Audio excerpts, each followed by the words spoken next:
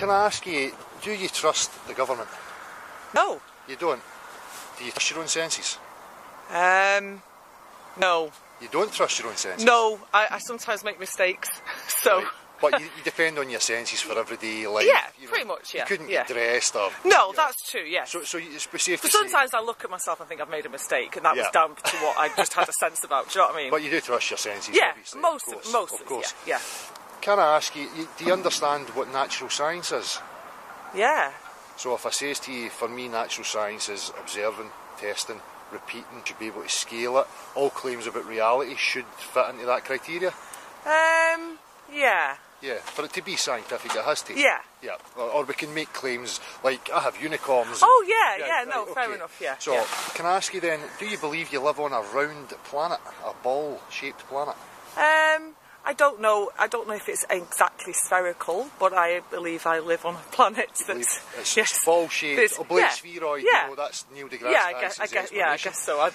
Can, can I ask? Can I ask you why you believe that? Um, I suppose because I've seen evidence that it curves and you see images of it out of space and you see that it's a ball and So, it makes sense. so when you look way. out into the horizon, can I ask you what shape the horizon is? Well, I think it depends on which angle you're looking at the horizon from. So if you're looking from really, really high up, there is evidence that it curves. Have you seen that? Um, no, but I've never been in a, a thing that high, I trust scientists what that tell me what, that do what if I that says saw to you that. that there's, there's amateur balloon footage from 121,000 feet that shows absolutely no curvature? I, I, well, I would be taking your view over Would you look science's into view. it? No, No. no. Can I ask you, you understand water, how water behaves? Um, well, kinda. If I says to you, I'm an English teacher, you Well, know, I you understand I drink it. if, if I says to you, well, you drink you drink water, so Yeah. you know you have to put it in a cup, Yeah. or a bowl. You Yeah. have a bath. You go to a swimming pool. Yeah. You go to a lake. You go to a dam. Yeah. Is the surface of the water ever curved? Um, no, but surely that's your perception, isn't it, from where you're standing on the earth? Well, if we go back to measurable, testable, repeatable claims about reality, could could you show me one body of water conforming to the exterior of a shape? No, but I'm not a scientist. But, you, but do you think it's reality that you could show that? I don't know, I'm not a scientist. Okay.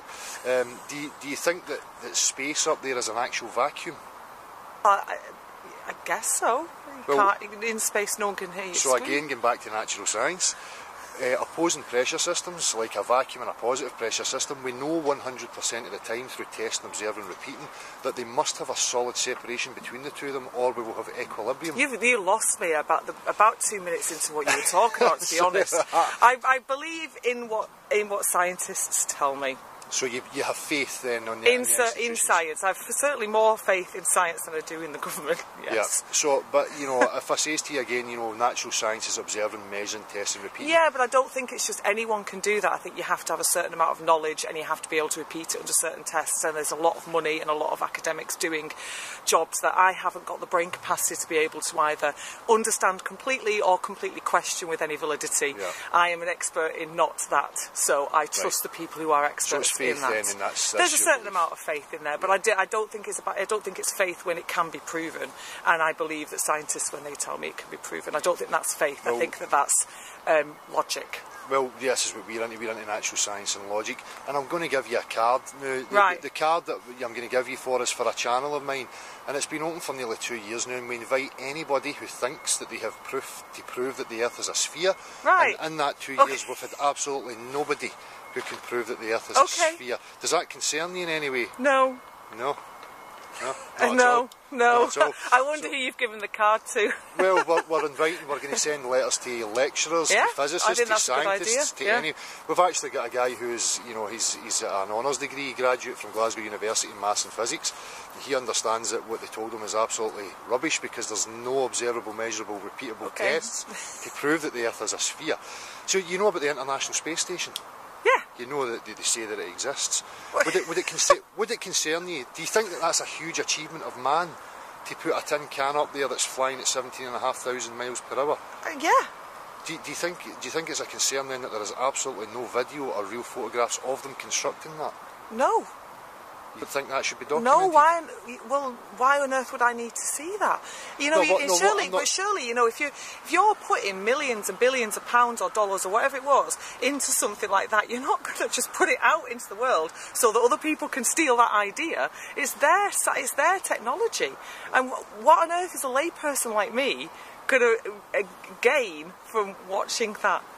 Yeah. Uh, yeah, no, Well, sorry. You know, so well, you know, it's, we, document all sorts of things. If we construct anything like a bridge, you know, like the Erskine Bridge along the road, there's been documented. Yeah, but that's not that's not yeah, but that's not a uh, that's not a multi-million billion dollar space thing, is it? That's something that the public use. This is not something the public use. This is something that's done for for something the public don't need to, Yeah. to use. I'm not going to go to the International Space Station Yeah. anytime soon.